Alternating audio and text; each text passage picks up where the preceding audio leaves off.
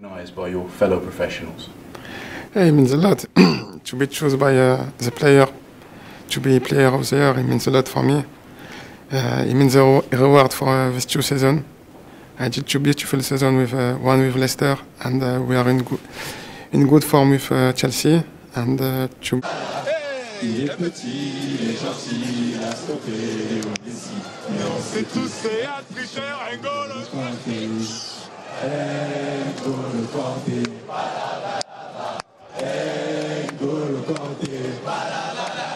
Il est petit, il est gentil, il a stoppé Léo Messi. Et on tous, c'est un tricheur, N'Golo